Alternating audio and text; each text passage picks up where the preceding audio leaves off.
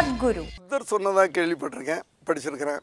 எல்லா பிரச்சனைகளுக்குமே காரணம் ஆசைதான் அப்படின்னு சொல்கிறார் ஆனால் நீங்கள் அத்தனைக்கும் ஆசைப்படுன்னு சொல்கிறீங்க நீங்கள் சும்மா காரணம் இல்லாமல் சொல்ல மாட்டீங்க. இந்த அவர் சொன்ன ஆசைக்கும் நீங்கள் சொல்லுகின்ற அத்தனைக்கும் ஆசைப்படுகின்ற ஒரு தத்துவத்துக்கும் விளக்கம் வேணும். இப்போ எனக்கு பாருங்க நான் சினிமா பார்க்கணுன்ற ஆசையே போயிடுச்சு எனக்கு. இப்போ எல்லாருக்கும் இப்படி ஆயிடுச்சுன்னா நீங்கள் என்ன பண்ணுவீங்க? வேற தொழில் பார்த்துக்கிறோம்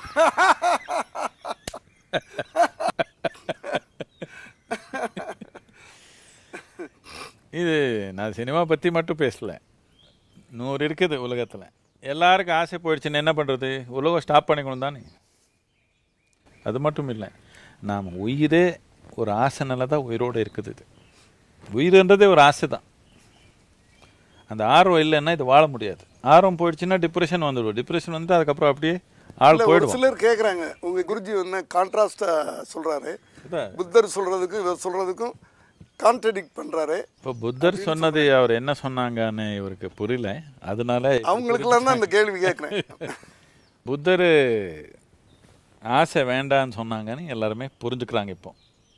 என்னத்துக்குன்னா நிறைய பேரோட மனத்தில் என்னன்னா போதனைன்னு என்னன்னா அது யாருக்கு முடியாது அது போதனைன்னு நினச்சிக்கிறாங்க. யாருக்கு முடியாதது போதனை இல்லை முட்டாளத்தனம் புத்தர் போய் ஆசையை விட்டுடுன்னு அவர் சொல்லியிருக்க மாட்டாங்க. என்னத்துக்குன்னா அவருக்கு ஞானோதயம் நடந்த அப்புறம் அடுத்த நாற்பது வருடம் கிராமத்துலேருந்து கிராமம் ஊர்லேருந்து ஊர் தொடர்ந்து போய் எல்லாரு கூட பரிமாறிக்கணும் எல்லாருக்கும் இந்த ஞானம் கிடைக்கணும் ஒரு ஒரே ஒரு ஆசையோட வாழ்க்கை முழுக்கமாக சுற்றுனாங்க சுற்றினாங்களா இல்லையா? ஆசை இல்லாத மாதிரியே வாழ்ந்தாங்க அவர். ஆசை இல்லாத மாதிரி வாழலையே. ரொம்ப தீவிரமான ஆசையோட தானே வாழ்னாங்க எல்லாருக்கும் கிடைக்கணும்னு. வாழ்னாங்களா இல்லையா? இப்போ உங்கள் பிரச்சனை என்னன்னா ஆசை எனக்கு மட்டும் தான் கிடைக்கணும்னு இருக்குது.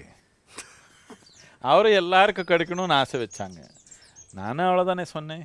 அத்தனைக்கு ஆசைப்படுவேன்னு சொன்னேன். அத்தனை என்ன என்ன? அத்தனை என்ன சொல்லுங்க? அதான் புரியாத ரொம்ப பேர் குழம்பிக்கிட்டு இருக்கிறாங்க. அத்தனை என்ன இது கல் மட்டும் இல்லை. அத்தனை தான் அந்த சாப்பாடு மட்டும் இல்லை. அத்தனை தான் அந்த நகை மட்டும் இல்லை. சொத்து மட்டும் இல்லை. அத்தனைன்னா அத்தனை. அதில் எல்லாமே இருக்குது. எல்லாமே. உங்கள் ஆசை எல்லாத்த பற்றி இருந்தால் நீங்கள் எப்படி இருப்பீங்க?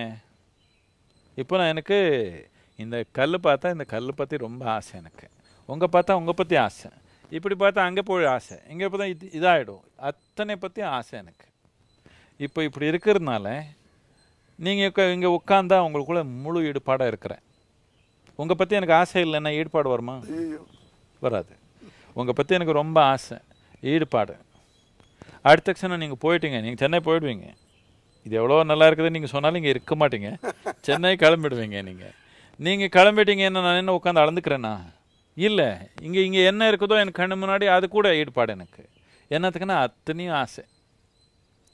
நீங்கள் பிரச்சனை என்னென்னா உங்கள் ஆசைன்றதுக்கு எல்லை போட்டிங்க. அதுதான் பிரச்சனை.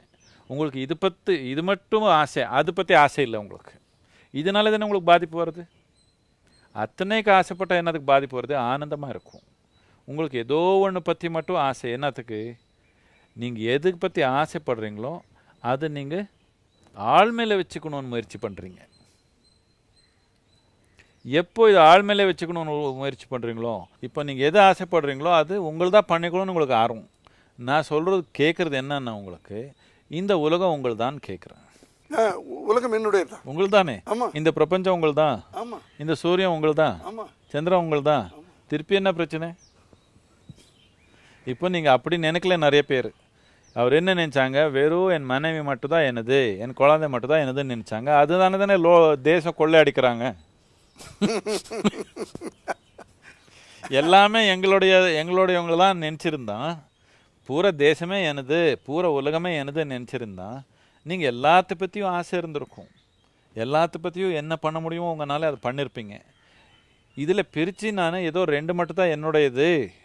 இது பற்றி மட்டும் தான் எனக்கு ஆசை மித்ததை பற்றி ஆசை இல்லைன்னு நினச்சதுனால தானே பாதிப்பு. உங்களுக்கு பாதிப்பு சுத்தம் இருக்கிறவங்க பாதிப்பு. ஆசையில் என்ன கெஞ்சத்தானே பண்ணுறீங்கன்னு எனக்கு புரியல. ஆசையானாலும் எல்லை இல்லாம வச்சுக்கலாமே. அந்த வார்த்தை ஆசையிலேயே கெஞ்சத்தனமா அந்த வார்த்தையை பிடிச்சுக்கிறாங்க. அவர் அந்த வா அத்தனை ஆசைப்பட்டாதான் எல்லா பிரச்சனை வருதுன்னு சொன்னாரு. இவர் அத்தனைக்கும் ஆசைப்படுன்னு சொல்றாரு அப்படின்னு அந்த வார்த்தையை ரெண்டு புரியல அவருக்கு. அதுக்கு தான் அந்த விளக்கம் ரெண்டு புரியல அவருக்கு. சத்குரு.